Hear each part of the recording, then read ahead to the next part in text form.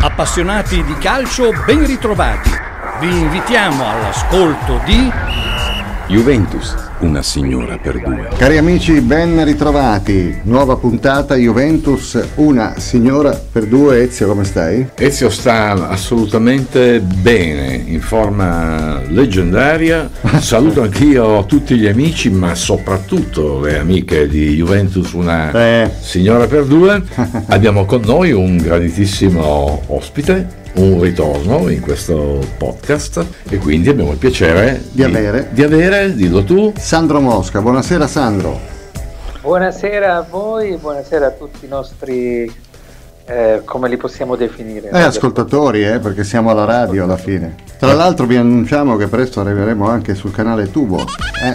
Capito? La, eh, Sandro, eh, la nostra platea è fatta anche e soprattutto di Juventini Sapiens, quindi una genia abbastanza eh, selezionata volta a nobilitare la partecipazione a questo, a questo programma e a premiare anche, consentitemi di dirlo, lo, lo stile che Massimo Tadorni, il sottoscritto esatto. e gli ospiti che invitiamo e che desideriamo siano coerenti con questo con questo stile normalmente ci supportano ci supportano, spero non sopportano, durante, durante queste mezz'orette eh, per le quali ho avuto dei riscontri simpatici. Ci sono persone che mi dicono Massimo, sì. mi tenete compagnia in macchina nel tragitto dal lavoro, da casa al lavoro o dal lavoro o dal lavoro a casa ed è, mm,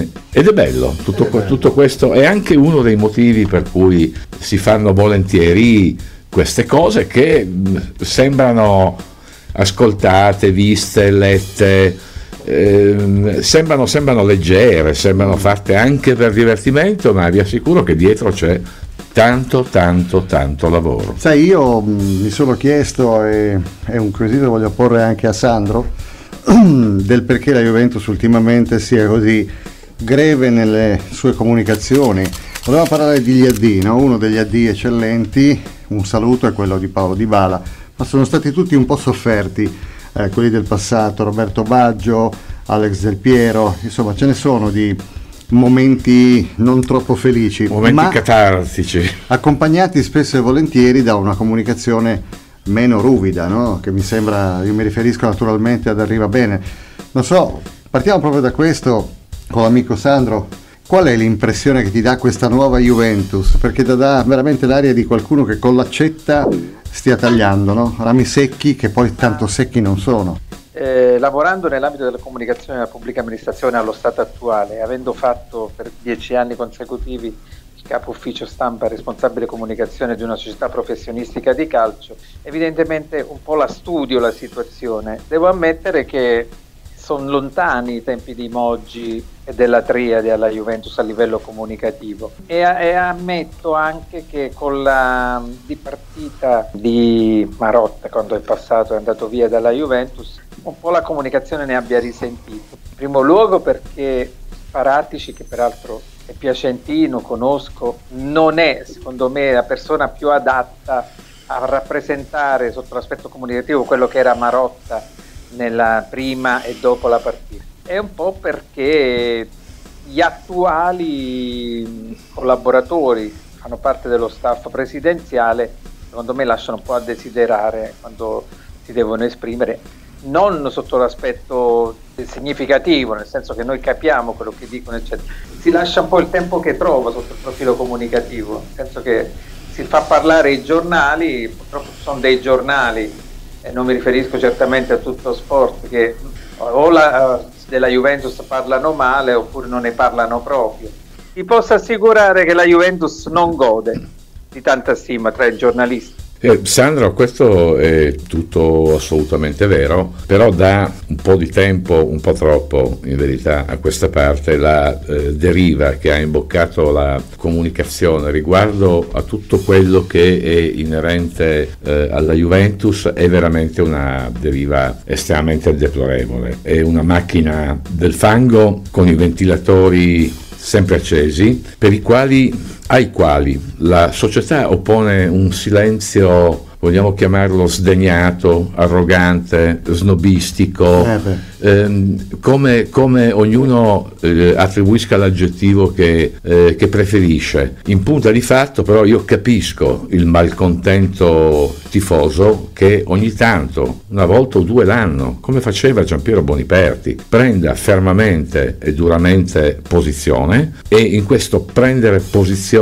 almeno per qualche tempo, finché dura, rispedisca ogni pagliaccio al suo circo i pretendenti al trono sul seggio, sul seggio più consono. E questo a base di, a base di querele, il buon Zeffirelli, parlandone da vivo, ma è l'unico che gli ha fatto pagare. Ne, ne, ne, pagò, ne, pagò, ben più di qualcuno, ne pagò ben più di qualcuna. Eh sì. In punta di fatto questo, questo, silenzio ad un certo punto diventa pernicioso perché eh, dà adito ad una serie di interpretazioni eh, svariate, non si sa bene quanto, non si sa bene quanto corrette ed anziché tacitare determinate cose a mio avviso ottiene l'effetto opposto nell'alimentarle. Poi io sono anche eh, d'accordo sul fatto che non è che si possa rispondere a tutto e a tutti, anche perché normalmente questi tutti sono composti da una eh, genia eterogenea di personaggi talvolta senza arte né parte, che litigano con le competenze calcistiche nello stesso modo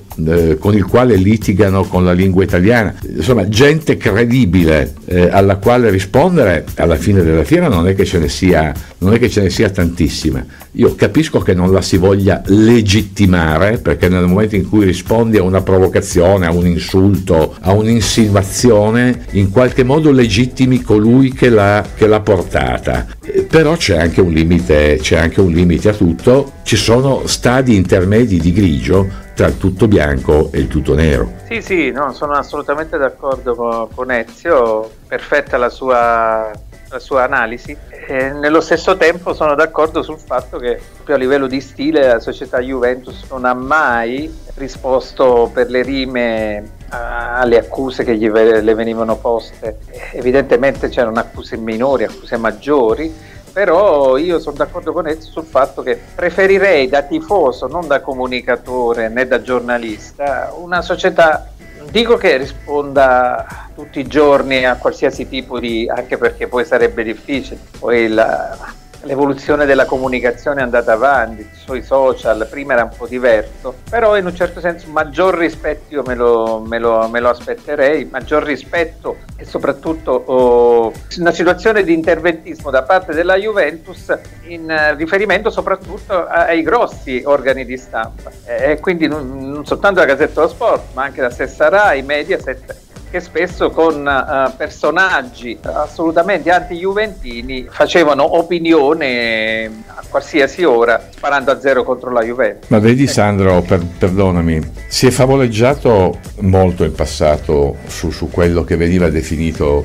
lo stile Juventus. Se non c'è più Ezio, dai. Sì, non, ma non c'è più, ma quello che io voglio dire è anche un'altra cosa, mm. che questo stile alla fine, se uno va a vedere fino in fondo le cose, essendoci stato anche con un piedino in qualche modo dentro, ehm, l'espressione di questo stile era incarnata soprattutto da personaggi di un'immanenza universale. Lo stile di, di personaggi dal, dal carisma, dall'importanza, dell'autorevolezza dell'avvocato Giovanni Agnelli o del fratello del dottore Edoardo. Erano come dire, delle calamite che, che, in qualche modo calamitavano l'attenzione distogliendola eh, esattamente dalle cadute di stile che comunque c'erano. Oh, scusate, Però nel momento in cui eh. loro si esponevano, stendevano questo mantello sabaudo, regale, mm. eh, torinese, su tut- anche su tutta, la, su tutta la società e questo veniva chiamato stile Juventus. In soldoni o in parole povere, a noi oggi manca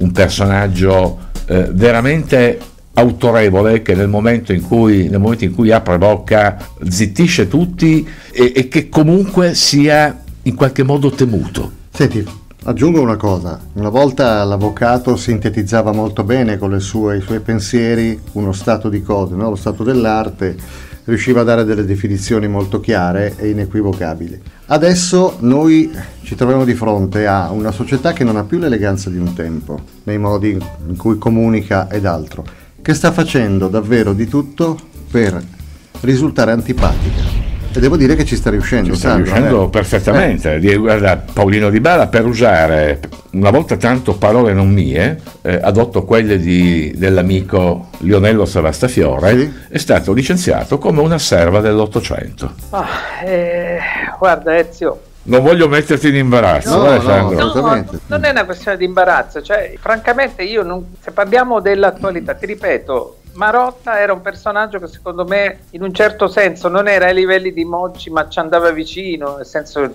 come spessore, come, come modo di esprimersi, come diplomazia anche nelle, nelle risposte. Chiaro che se tu mi fai gli esempi di, di Gianni Agnelli, Umberto Agnelli o Giampiero Boniperti, stiamo parlando di fuoriclassi. Mm.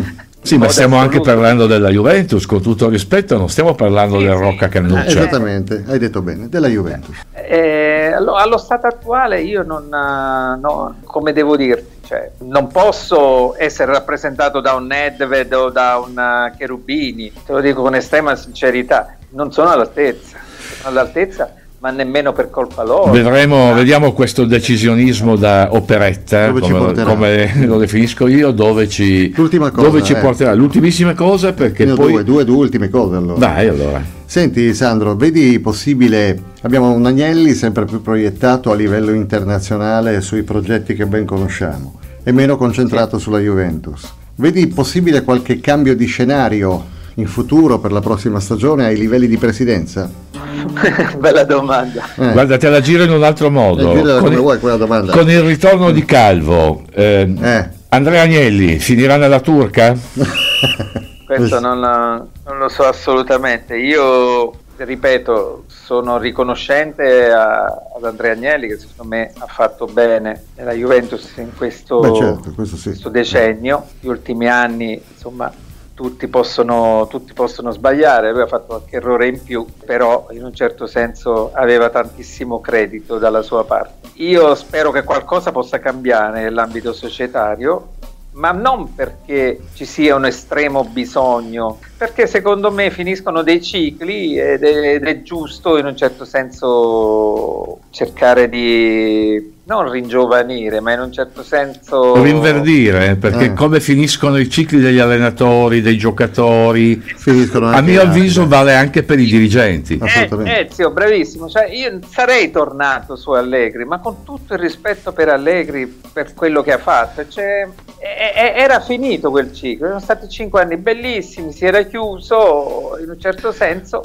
quindi non capisco certe scelte. Ecco, io spero che le scelte siano dettate esclusivamente per il bene della Juve e non da motivi personali che poi portano... Guarda, sarei, anche perché dobbiamo chiudere, Sandro, ti dico, sono d'accordo con te, sarei tornato anch'io su Allegri con una station wagon. Sandro, ti salutiamo e ti ringraziamo. Grazie ragazzi, è sempre un piacere parlare con voi, un saluto a tutti. Grazie, Grazie Mosca. Sandro, buona serata. Io sono molto contento, io sono molto contento e soprattutto devo ringraziare i ragazzi, devo ringraziare i ragazzi, io sono molto contento, sono molto contento, devo ringraziare i ragazzi. Juventus, una signora per due. Eccoci qui pronti, stiamo chiamando il nostro amico tifoso, Paolo. ci hanno scritto in tanti, esatto, risponderà sì. Sì, eh, eh, dai, eh, certo che risponderà. Paolo, buonasera. Diciamo Paolo e basta perché per motivi di privacy Sì. evitiamo in questo caso il cognome. Paolo, dove abbiamo telefonato? Allora, io sono di Montecorice in provincia di Salerno, in Campania. Mm, Senti, come hai vissuto? Intanto benvenuto su Juventus, una signora per due. Grazie, grazie, grazie mille. Un saluto ad Ezio.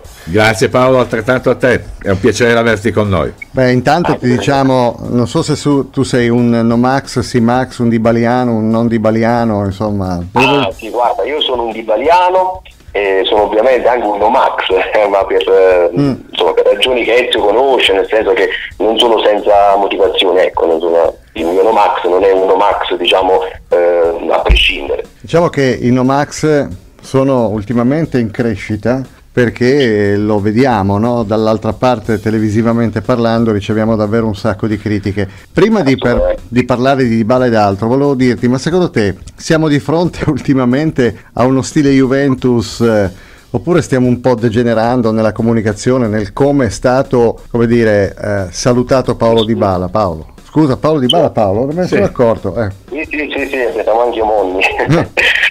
no, guarda, sono, sono d'accordo, cioè, credo che sia stata gestita molto male la vicenda, ehm, perché io molto spesso leggo anche insomma, sui social, frequento spesso la pagina di Ezio, ehm, si dice spesso, si dice vabbè ma Di Bala poi ha rifiutato un'offerta della Juventus. Vabbè, allora, a parte il fatto che un'offerta viene fatta, ovviamente perché c'è una trattativa, e le trattative non è che se io ti offro 10 accetto automaticamente, no, si cerca di trattare, è una, quella è un'offerta del 2020 addirittura, quando il contratto mancavano ancora due anni per la scadenza. Poi tutti quanti sappiamo che l'offerta era stata fatta sei mesi fa, erano già ormai d'accordo su tutto, credo che sarebbe stato molto più opportuno per la Juventus comunicare al giocatore le reali intenzioni, piuttosto che farlo arrivare addirittura col procuratore in sede, addirittura col presidente Agnelli che non c'era neanche, insomma mi sembra anche che Agnelli sia stato messo un po' ai margini insomma, in queste trattative. Eh, non abbiamo visto più presentare i calciatori, non abbiamo visto più eh, come dire, fare le foto insomma, delle firme dei contratti. Vediamo che insomma, è stato messo sempre un po' più ai margini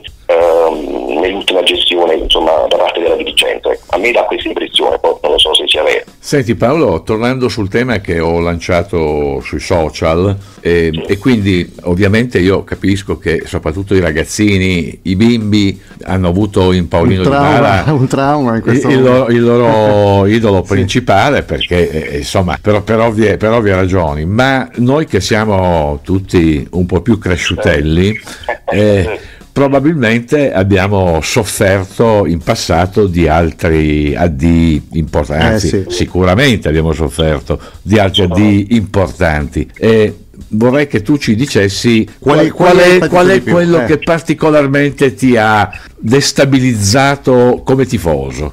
Allora, guarda, sono, allora, è un bellissimo tema, nel senso che c'è un, un discorso da fare nel senso quando è, quando è accaduto diciamo, questo allontanamento da parte di un calciatore e quello che poi è stato il, la, la, valutazione che abbiamo fatto col senno di poi. Nel senso, sicuramente, che ne so, quando ha lasciato Del Piede è stato un momento molto commovente, di grande... Eh, diciamo, unione da parte anche della, della, della, della, tifoseria, insomma è stato un momento molto, molto toccante, però devo dire che Del Piero noi da tifosi l'abbiamo un po' vissuto in tutte le sue sfaccettature, no? dal primo periodo quando ha sostituito Baggio, suo, insomma è stato un crescendo continuo, quindi devo dire che più di quello non potevo aspettare, prima, prima o poi doveva ritirarsi, voglio dire Del Piero, aveva anche una certa età. Quello che mi ha lasciato invece molto eh, l'amaro in bocca è stato l'addio di Zidane, eh, ma per due motivi fondamentalmente. Il primo perché io diciamo Zidane l'ho amato tantissimo, ma io perché amo tutti i calciatori che sono molto eh, diciamo tecnici, quindi Zidane era anche un grandissimo fantasista, ma perché con Zidane avevamo fatto due finali consecutivi di Champions, che erano andate male, tre semifinali consecutive, se contiamo anche quella con il Manchester United del 99, sappiamo tutti come, insomma, come, come finì poi, insomma, in malo modo, però eravamo anche in vantaggio. E poi devo dire la cosa più brutta è che quando è andato via ci sono stati due aspetti. Il primo che non l'abbiamo sostituito con un calciatore che avesse le stesse caratteristiche, questa cosa ovviamente è stata anche diciamo, un errore da un certo punto di vista, no? è diventato un evento molto muscolare, eh, con Nedved, per carità grandissimi giocatori, abbiamo preso Turam, per carità Buffon, abbiamo rinforzato la squadra, però poi se andiamo a vedere, eh, insomma, non abbiamo ottenuto quei grandi risultati in Champions, tranne la finale insomma, nel 2003, eh, pure quella festa, mentre invece Zidane l'anno successivo va a Madrid e vince una Champions con un gol strepitoso in finale. E poi da quel momento non abbiamo più acquistato giocatori di, di quella qualità, mm. Siamo, dobbiamo arrivare fino agli anni recenti, insomma con David, quando abbiamo preso un calciatore di quelle potenzialità, di quel livello. E quindi questa cosa insomma, ci ha segnato un po', parliamo di un arco di tempo di praticamente di 15 anni, 16 anni, se non di più. Ecco, Sai Paolo, uno degli AD più tristi secondo me, e dove ho scoperto grazie all'amico Carlo Nesti che ci fu un po' lo zampino della società, è stato quello di Michel Platini, dove Boniperti non volle eh, grandi come dire, eh, celebrazioni. Un addio che è stato immortalato da una fotografia di Salvatore Giglio. Molto mesto. Molto mesto nel, nel tunnel, eh, quello forse è uno degli addii che io ho sofferto di più e paradossalmente ho sofferto l'addio di Liam Brady, sempre in quegli anni. Eh. Sì, guarda, eh, quel sì. giorno, il, il, giorno dell'addio di Michel Platini, piangeva il cielo insieme, pioveva, pioveva, piangeva pioveva. il cielo insieme, insieme ai tifosi. Personalmente è stato l'addio che io ho sofferto eh, decisamente di più, per alcuni motivi, uno dei quali era che ovviamente come, come si poteva pensare di sostituire Michel Platini con, qual- con qualcuno non più forte, almeno uguale, non, esiste- non esisteva. Gli addii successivi, quelli di eh, Zidane, quelli di Robe- Robertino Baggio, un altro, per, un altro per il quale ho delirato comunque, eh, quelli di, quello di Del Piero, ovvero quelli avvenuti sotto un certo tipo di dirigenza, certo, mi hanno indotto molto rammarico, ma non una particolare sofferenza, perché ero assolutamente certo che comunque la squadra eh, non si sarebbe indebolita, avre- sarebbero riusciti comunque a costruire una formazione diversa, magari con meno impennate artistiche, eh, a, a- a favore Eh, certamente eh. di maggiore sostanza, però comunque una squadra sempre ai massimi livelli. L'addio di Paolino Di Bala eh, e poi tra l'altro l'ultimo addio che ho patito è stato quello di Paul Pogba che per me era il nostro LeBron Sì, James. lì è andato via in maniera un po' e indecorosa. anche lì una brutta maniera È andata per, per andare via. Paolo, noi stiamo quasi per salutarti. Eh, stai elaborando il lutto, mi pare di capire. Guarda, c'è- ci sono un po' di discorsi da fare, cioè nel senso che eh, Di Bala sicuramente ha avuto dei problemi negli ultimi due anni, quindi è legittima la scelta della società di non rinnovare il contratto. Abbiamo detto ovviamente che ci sarebbe stato un modo forse più consono per farlo, soprattutto in virtù del fatto che Di Bala ha giocato sette anni con noi, quindi non era proprio l'ultimo arrivato, ecco. quindi sarebbe stato opportuno. Poi eh, insomma, mi dispiace sempre questo atteggiamento da parte della società quando deve far ehm, digerire ai tifosi un certo abbandono, quando sa che un calciatore è molto amato nella tifoseria, insomma, di metterlo un po' in cattiva luce. Questa cosa un po' l'ha, l'ha fatta spesso la Juventus, eh, anche in È vero, passato, come è vero. Eh, Paolo, No, io- aspetta, aspetta, cito due cose strane. La prima, l'uscita di un articolo a prima pagina nel Corriere della Sera il, il giorno successivo al eh, momento della notizia che descriveva Di Bala come un bamboccio viziato che gioca con i Lego. Sì, Esattamente, esatto per essere chiari. E poi oggi stranamente, faccio proprio riferimento, tanto stiamo registrando a poche ore, Di Bala è il primo convocato in procura per essere sentito come persona informata sui fatti nell'ambito dell'inchiesta sulle plusvalenze. Va bene, a pensare male si fa peccato, Oh, ma ma è, ogni tu- è- tanto... è tutto stranamente casuale. È tutto casuale, anche se mi garantisce sempre il livello Savastafiore che i PM sono assolutamente delle persone affidabilissime. Il giornalista però ci marcia un po'. Mm, ok, forse il tifo, l'ideologia, va bene. Paolo, ti salutiamo. Paolo... sui, social, sì, sui social questa cosa è passata come il traditore Eh, certo. Ecco, a- a, rigua- a riguardo, a riguardo, dal momento se, se lui dovesse andare in una certa squadra, ma non ci andrà, perché non è- intanto perché no. non è in grado di garantire i soldi che vorrebbe di Bala, Certo. eh, ma se dovesse, dovesse accadere, sono assolutamente certo che gli ehm, farebbero indossare i panni del traditore. Ma io dico, ma scusate, quelli che sono, hanno stappato bottiglie eh, di acqua di pozzanghera per l'addio di, per l'addio di Paolino Di Bala perché lo ritengono un bambino viziato, capriccioso, uso un termine orribile che non mi piace ma che è sempre in bocca a questa gente, un bimbo minchia, La- sempre, Questa è la Bippo. sempre, rotta, sempre rotto e mai decisivo, ma dovrebbero sperare che vada all'Inter perché uno così può solo indebolire un'avversaria, no? Giusto, non segnare e non giocare, esatto. Segnare E sì, io ma mi ogni tanto. permetto di dire l'ultima cosa, Sì. giustamente avete i vostri tempi. Io ho detto pochi giorni fa, ho detto, ma molto spesso leggo questa frase, perché poi diciamo la, la comunicazione sulle pagine viene fatta un po' per adeguarsi a quello che è il sentire comune, no? Lo dice una una cosa, la ripetono tutti gli altri. Allora, Di Bala non ha fatto mai il salto di qualità. Adesso io, ritornando al primo discorso su Allegri, ma ditemi voi, negli ultimi sette anni, ci metto anche quello di Tardi e quello di Pirlo, quale giocatore è migliorato dal punto di vista tecnico e della personalità in sette anni? Tranne l'anno scorso Danilo, che ha cambiato diciamo, ruolo, ma grazie a Pirlo, e due anni fa lo stesso Di Bala con Sarri quando ha fatto il miglior giocatore della stagione calcistica 19-2020. Non c'è nessun giocatore che abbia fatto un salto di qualità, quindi dire questa cosa di Di Bala non ha fatto il salto, magari è stato anche penalizzato da una condizione tecnica che non lo ha favorito sicuramente, se è vera la premessa. Ecco, Chiudiamo con una battuta, magari non ha fatto quel salto perché fosse saltato male, rischiava di infortunarsi. Infatti. Ecco, esatto, bisognava andare con i piedi di più, hai ragione. Paolo, noi ti ringraziamo per la tua partecipazione a Juventus, una signora per due, continua a seguire i social e il podcast. Grazie a voi, grazie a voi. Grazie Paolo.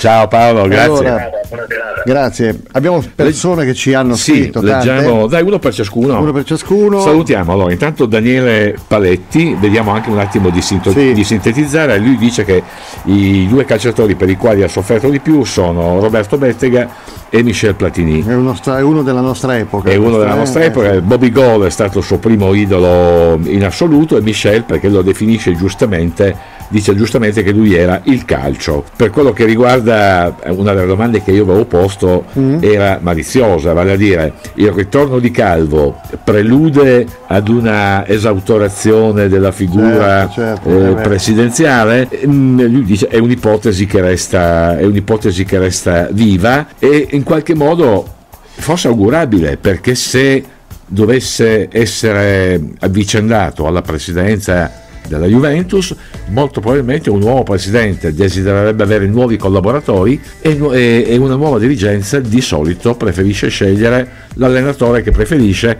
anziché quello che si trova in casa. Allora, saluto anche Natale che eh, sintetizzo un po' perché siete davvero Certo. tanti. L'unico poster a resistere della mia stanza è quello di Platini, che mi piacerebbe vedere come eventuale sostituto di Agnelli. Daniele, ne saluto un altro. Eh, personalmente spero che a livello dirigenziale cambi più di Beh, I qualcosa. cognomi qui possiamo dirli. Mm, eh. Va bene. Poi ancora, prego Ezio. Ivan Macorin Eh. dice che ha sofferto per, tantissimo per Zizou e per, e per Alex eh, Del Piero, due miti della sua infanzia calcis- calcistica. Lui si augura che l'operato di- del liquidatore, come io ho definito Maurizio, arriva bene. John Wayne, John Wayne Sì, Maurizio che Riva- ricordiamo nel suo meraviglioso quinquennio eh, all'interno del barattolo rosso ha vinto una beatissima cippa. Ancora, dai, Maurizio che dice Maurizio Juve, beh, Michel Platini è l'addio che lo ha fatto soffrire di più, le ragioni sono ovvie le puoi immaginare. Andrea Fazio, la dipartita di Zidane. Poi ancora Poi abbiamo Brian Marinello che è insomma Mm. relativamente giovane Sì, rispetto, esatto. ovviamente rispetto a noi perché è del 92 e anche lui è calcisticamente cresciuto con, con Alex De Piero ed è evidente che eh, Beh, certo. eh, il suo addio ha rappresentato uno, uno spartiacque del suo, del suo amore tecnico diciamo Davide Rava che fa una domanda. che ci fa una domanda e dice posto che arriva bene sia un liquidatore Mm. perché allora hanno acquistato Vlaovic a gennaio Perché si è spaccato Chiesa, caro e amico. chi al eh, posto del Davide. presidente Eh. quella era una lacuna comunque è una, una voragine O lo prendevi o lo prendevi, esatto, cioè non c'erano vie di mezzo perché sennò saremmo stati davvero in crisi. Non siamo, stati, non siamo entrati lo stesso in Champions, ma almeno abbiamo potenziato la squadra con qualche speranza in più. Questo è, no? poi dipende anche da come lo paghi nel senso che se cominci a tagliare a destra manca per riuscire certo. a pagare siamo da capo cioè prima ci mancava una- un autentico centravanti una vera prima punta adesso molto probabilmente ci manca una vera seconda punta perché per, per quello che mi riguarda Paolino Di Bala non era parlandone da vivo, voglio dire, uso l'imperfetto, Cioè, li- li- eh, uso l'imperfetto eh, riguardo al suo passato juventino, non è mai stato intanto un tuttocampista, non, è st- non era un trequartista, non era un esterno destro eh, e, nemmeno, eh, e nemmeno un playmaker. Era una seconda punta e una seconda punta da 113 gol. Io faccio fatica a pensare dove possano reperirla. Non lo reperiranno. Allora, Ezio, tempo scaduto, eh, su Torino calano le ombre della notte. Stanno calando le ombre della notte, Cari le amici, luci state be- sono eh, stay- ormai affievolite. Esattamente. Stay tuned, come si dice, state sintonizzati perché ancora la prossima puntata sarà dedicata totalmente a voi. Mm? Sì, eh, forse anche ancora di più di quanto già siamo riusciti a fare questa, questa sera. La domanda è? La- ce la facciamo fare? dai, Perché suona la campana? Eh no, E l'ultimo, cosa deve fare? cosa deve fare l'ultimo? Chiuda la porta. Chiudiamo la porta. Alla prossima! È finita, è finita! Match sostanzialmente equilibrato.